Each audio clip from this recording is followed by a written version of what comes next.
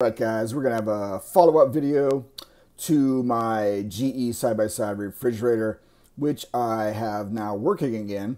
Um, the problem I had with my refrigerator, which probably most people have with GE products or any refrigerator, is they just stop working.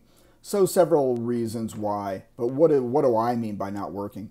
Uh, when I would open the door, you would see the light, the light would come on on the freezer and the upper half as well, the refrigerator part the front display would not light up, the water would not dispense off the front panel. So I'm thinking, okay, it's getting power. Uh, went to the back, popped off the back uh, stainless steel plate, exposing this board. This is your control board.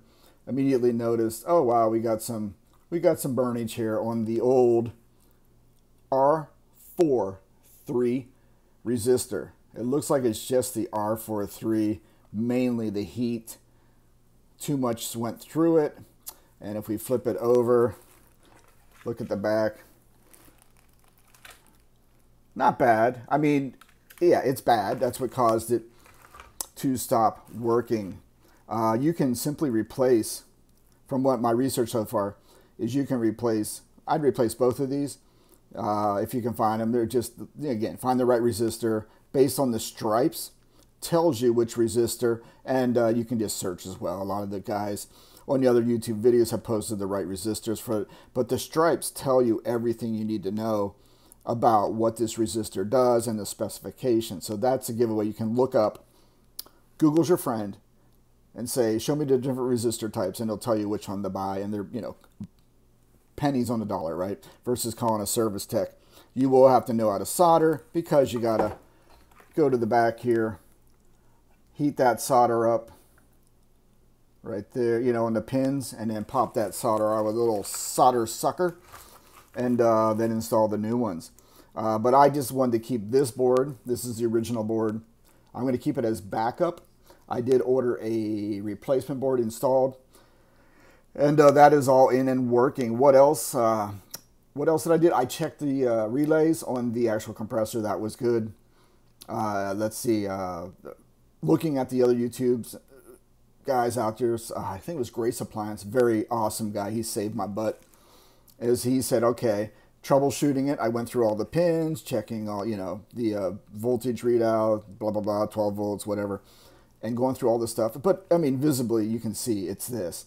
And he said if it's the top one, it's the evaporator fan in the freezer. The bottom one, which is R27, is the compressor fan. So R43, boom, I went and ordered that new fan right here. Here's the old one, Panasonic. It doesn't look bad. He's thinking maybe moisture got in. Here's the plug. I don't know. So when I did install these new ones, uh, the plugs in that, I just put dielectric grease on these connectors, uh, on all the connectors, on everything I put back in, just to help maybe keep them from any any uh, any water getting in and or corrosion. I also replaced this one. This is the compressor fan. This one was more funky. It was all dirty in that. So I don't think this one failed, but you got to be careful when you take this thing out. These wires will come out of the plug. But when you buy a new one, you get a new plug. So no worries. Keeping these anyway, just for reference in the future.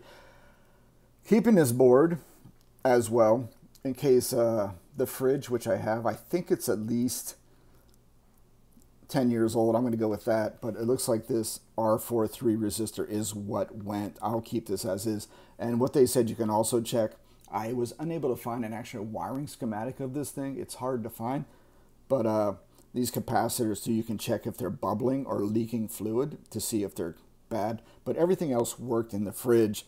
How do I know? What I would do is uh, when this when this harness was plugged in, this is J2 power is here. And then let me use my little pointer. Power is here on this pin. And then on the one, two, three, four pin is the, I think the oscillate, uh, evaporator fan power. And then the next one down, five, is the compressor. So what you can do when everything's all wired on the board, things not running, you're still getting power to the light bulbs and that, you can jump just get a wire, insulated wire, so you don't get a little jolt. Uh, insulated wire is like two inches long, and I just put it into the connector here, and then I put it into this fourth one here. Boom.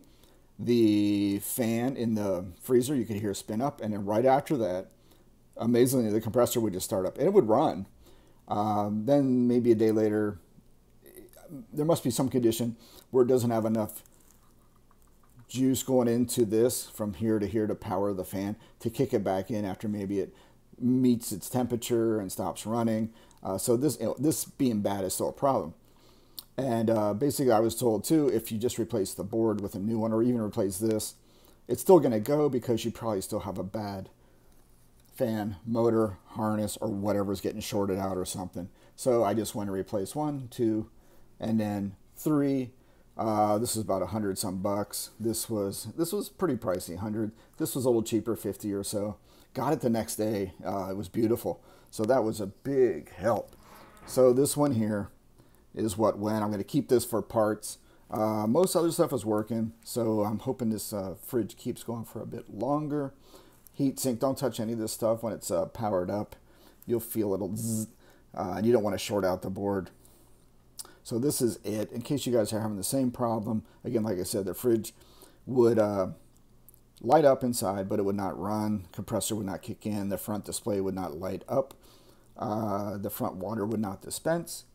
And uh, but when I did short it out and went through all the troubleshooting steps on the Grace video guy, go to his channel, check out some of the steps. He's very detailed.